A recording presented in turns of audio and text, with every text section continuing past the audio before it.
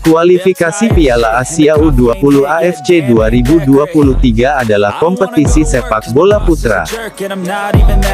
Akan diadakan sebagai turnamen U20 untuk pertama kalinya setelah proses rebranding oleh AFC.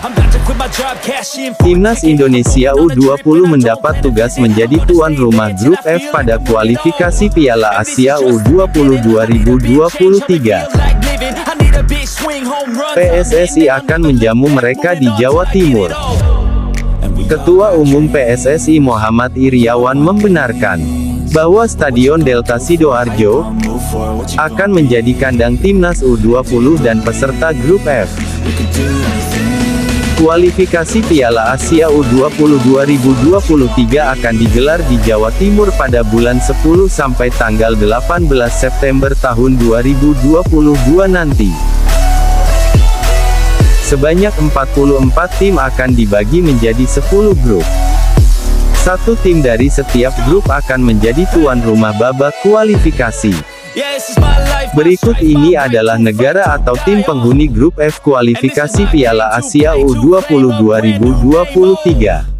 And I ain't gonna lie to you. 1. Indonesia U20 2. Vietnam U20 3. Hong Kong U20 4. Timur Leste U20 Berikut ini jadwal timnas Indonesia bertanding Tanggal 14 September tahun 2022 Timnas Indonesia U20 versus Timnas Timor Leste U20 Tanggal 16 September tahun 2022 Timnas Hong Kong versus Timnas Indonesia U20 Tanggal 18 September tahun 2022 Timnas Indonesia U20 versus Timnas Vietnam U20 Berikut info yang bisa kami berikan semoga bermanfaat.